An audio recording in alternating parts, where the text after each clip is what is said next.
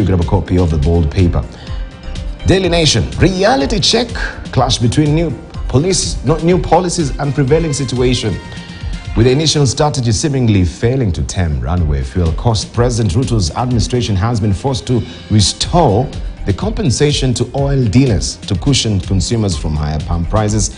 But to navigate the political backlash after condemnation of subsidies, officials have another name for the intervention, even as traders are set to be squeezed further. Let's just see some of the details that have been put here. Uh, if we may just go through them blow by blow. First, on fuel, under pressure, on fuel, under pressure of rising pump prices.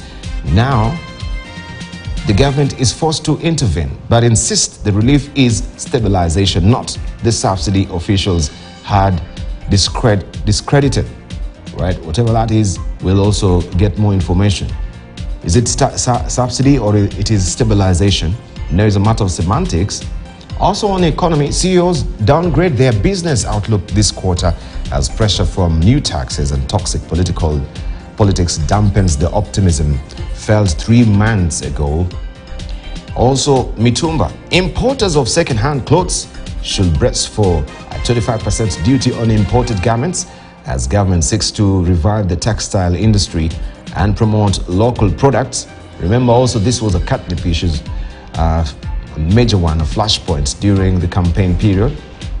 On housing levy, KRA says all regular cash allowances including car and travel packs will be factored in gross pay when calculating an employee's monthly deduction.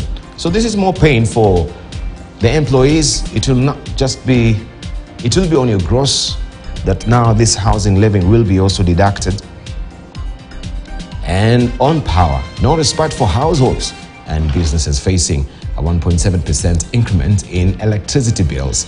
Out of fuel energy charge rose to 4.46 shillings per unit from 4.02 last month. And you can read the rest of the details inside the Daily Nation this morning.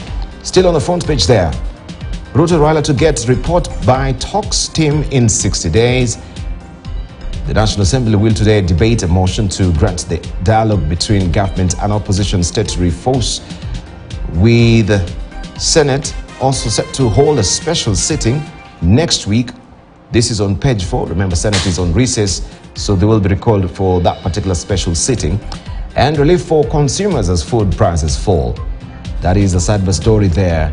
And central bank survey shows prices of main food items have dropped from last month and the trend will continue this month as production improves with cheap fertilizer. And even the president is very sanguine and optimistic that we are able now to export food, right?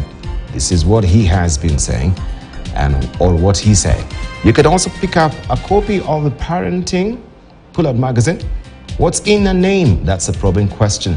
And all those details are tucked away inside the Daily Nation today. Windfall for port staff set to receive 500 million shillings pending bonuses on page 14 of the Daily Nation this morning. This is our looks. Make sure also you grab a copy if it really floats your boat. And police to guard coffee factories over theft. That is another story inside the Daily Nation this morning. The Star, half of Vaza